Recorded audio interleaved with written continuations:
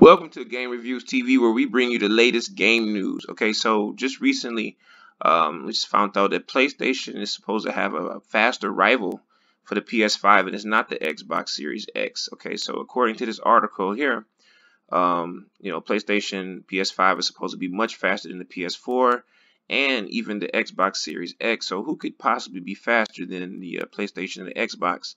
No other than NVIDIA GeForce RTX 2080, which is a graphics card made by NVIDIA.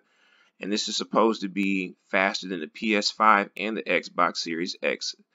All right, so that's in the latest report. So this was uh, in the latest events um, in China, and you know they were talking about um, being able to get this thing way, way faster. Now, of course, this this graphics card only is going to work in uh, computer setups because obviously the card itself is going to cost more than the PlayStation and the Xbox, probably even combined. So um, that's crazy. But at the same time, um, they're trying to go after the AMD, and you know, because AMD is going to be having their graphics cards in all the, uh, the, PlayStation and the Xbox. And I guess Nvidia was feeling salty, so they went on ahead and made a, a uh, graphics cards that could be faster. Okay, so I'm going to leave a link to this uh, article in the description, guys. Make sure you hit the subscribe button, hit the like button. Peace.